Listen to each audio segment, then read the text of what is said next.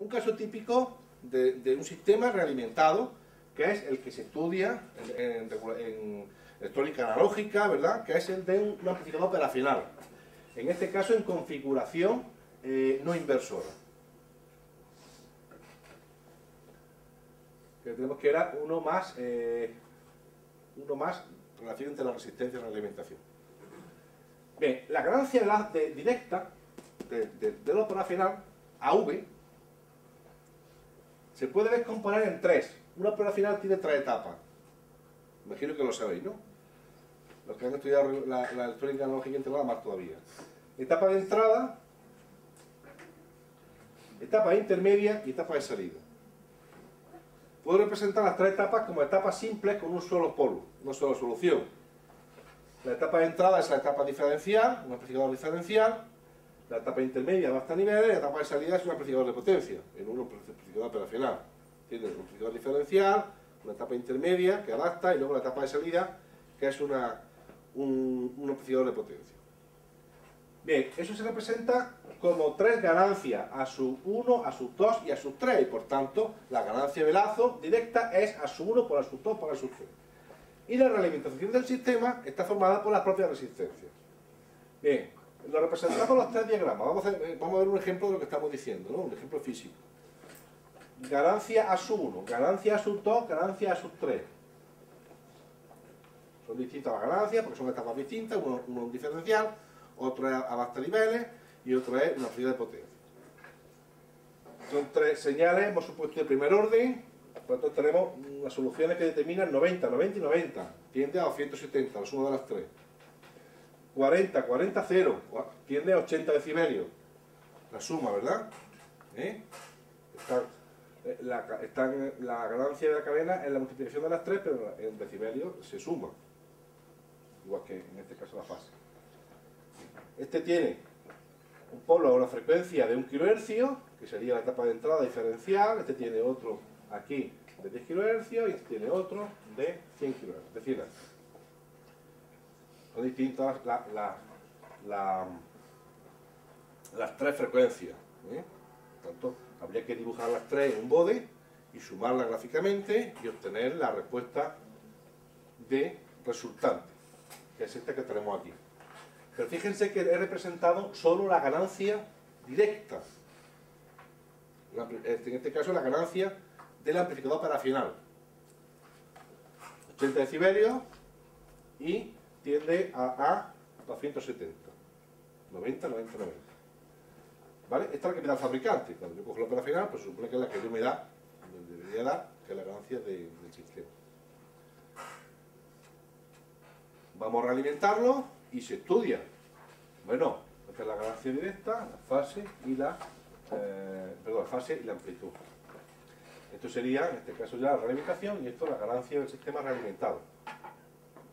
Esto es muy grande porque a su T es la ganancia de operacional, que son 80 decibelios. 80 decibelios en valor absoluto es un valor muy elevado. ¿eh? Y elevado a 80 partido por 20. Son, y elevado a... ¿Cuánto? 4, 4, 10.000, 10.000. Estamos hablando de un, de, un, valor grande. Por tanto, se cumple lo que estamos diciendo, ¿no? Se va con F, se queda por H, en fin. Bien. ¿Cómo se, trabajaría aquí? Hay dos formas de trabajarlo. Dos formas. Una, representamos la ganancia directa, vamos a multiplicar por H, sería A por beta, a por H en este caso, ¿verdad? Que es lo que nos interesa. Vamos a suponer 10 elevado a menos 3, que era la realimentación de la resistencia. Y me queda este sistema representando ya la ganancia A por H. Ahí sí determino cuánto vale para 180 el margen de, eh, de amplitud y veo que está por debajo de cero, digo el sistema es estable y puedo determinar pues, cuánto es aquí, son 30 y pico decibelios. El sistema funciona, con, este, con esta realimentación funciona bien, no hay ningún problema. Con el otro, en vez de 10 elevado a 3, 10 elevado a menos 2, pues tendríamos, ¿ahora qué pasa?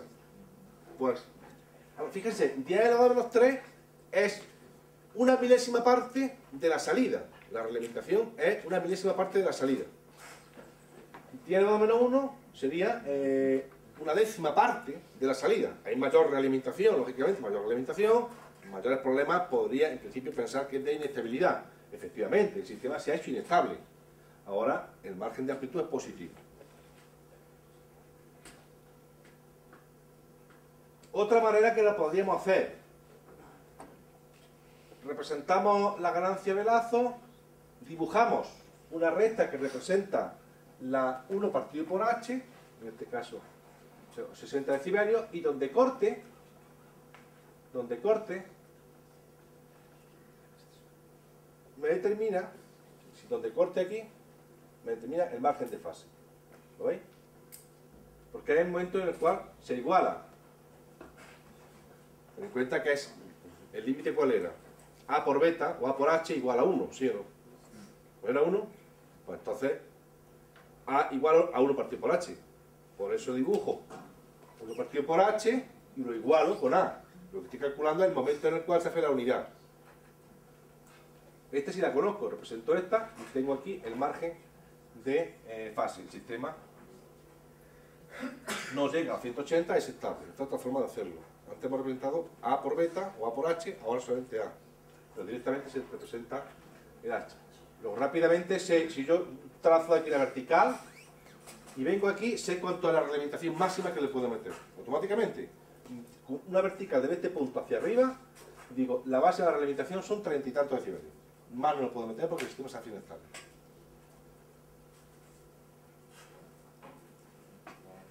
Esto sería para el otro caso, que sería 10 elevado a 1. Vemos que el sistema pasa de ser eh, menor, de 180 a ser mayor de 180. Bueno, espero que con esto que hemos visto tengáis claro ya, totalmente claro, el concepto de estabilidad, margen de fase, margen de amplitud, porque es lo que luego vamos a aplicar nosotros.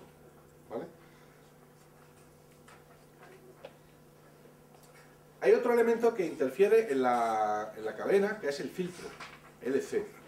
Vamos a tratar de identificar qué bloques hay en el sistema para representar el diagrama de bloques. El filtro. El filtro es un filtro LC, que como todos sabéis, habéis estudiado en, en, teoría de circuitos, representando un filtro LC, es un filtro de segundo orden, que aparece un polo doble en el terminador, ese cuadrado. ¿eh? Por tanto, al ser un polo doble significa que tenemos 20 más 20, 40 decibelios, tiende a 40 decibelios y tiende al 180 grados. Bien, aquí tenemos el diagrama, circuito de un convertidor continua continua, directo, book. La tensión de salida, en este caso, que es el parámetro controlar, debe ser constante ante cualquier variación de la propia entrada, que es lo que determinamos como regulación de línea, o ante la propia carga, que es lo que se determina como regulación de carga. Por tanto, lo que hay que hacer es controlar el ciclo de trabajo que determina el tiempo que está conduciendo el transistor, que era lo que, lo que determinaba la tensión media de salida. Está claro, ¿verdad? Teníamos que la tensión de salida era función de la tensión de entrada y del ciclo de trabajo. Controlando el ciclo de trabajo, pues entonces hago que varíe la señal de salida. El sistema realimentado lo que hace es determinar cómo está la salida y dice al regulador, en este caso, perdón, al conmutador, cómo tiene que aumentar o disminuir el ciclo de trabajo para compensar dicha variación. En el caso de la fuente lineal, lo que hacíamos era aumentar o disminuir la, tensión de base, la corriente de base en este caso, si era un bipolar, o la tensión, si era un MOSFET, para que condujera más o menos. En la fuente lineal siempre estaba conduciendo el sistema. Aquí no, aquí o está en corte o está en conducción. Pero lo que hago es variar esa relación, ese ciclo de trabajo.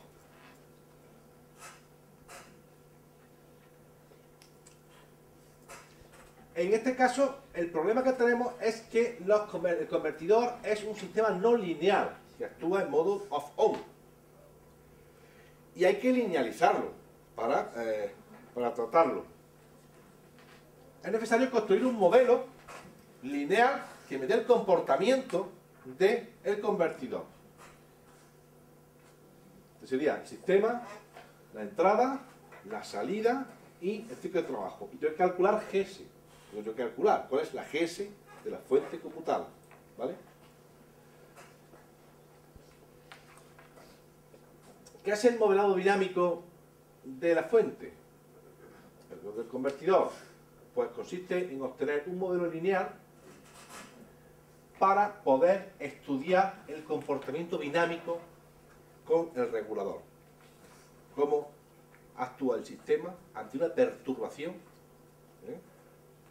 En el mismo, variación de la señal de entrada o variación de la señal de salida.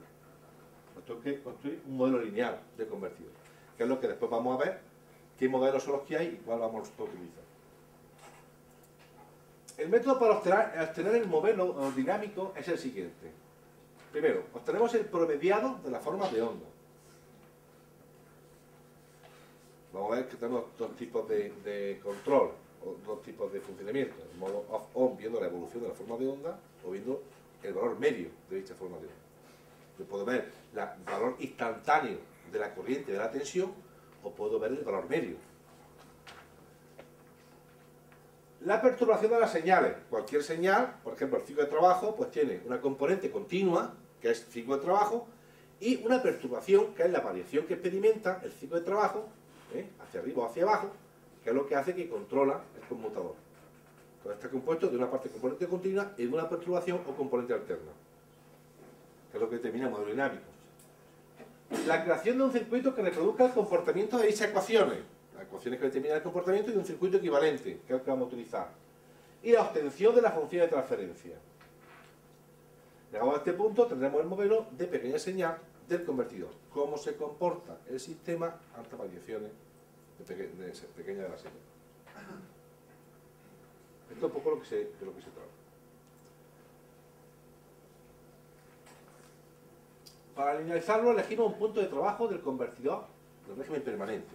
Igual, cuando estudiamos un transistor, estudiamos el punto Q, estático de funcionamiento, y decimos este transistor tiene una intensidad de colector en el punto Q de tantos miliamperios y tiene una tensión colector emisor de tanto. Y ahora, ante una señal de entrada, oscila hacia arriba o hacia abajo con respecto de dicho punto Q. Un amplificador se sitúa al punto Q y ahora, ante una señal de entrada, oscila hacia arriba o hacia abajo amplificando la señal. No pueden subir mucho ni bajar mucho porque se recortaría o se saturaría. Tenemos unos límites. Bueno, pues elegimos un punto de trabajo del convertidor. Linealizamos el circuito en torno a ese punto. El modelo solamente es válido en torno a ese punto. Cuando linealizamos las curvas del transistor. El punto y luego alrededor de ese punto se considera que el modelo es válido. Cuanto más grande la señal, ya menos, menos, menos válido dicho modelo. Se comportaría, una vez que está determinado el punto de trabajo, perturbaciones alrededor de dicho punto. Es lo que se trata de, de estudiar. Se afectan pequeñas variaciones en torno al punto de funcionamiento por eso se le denomina modelo de pequeña señal.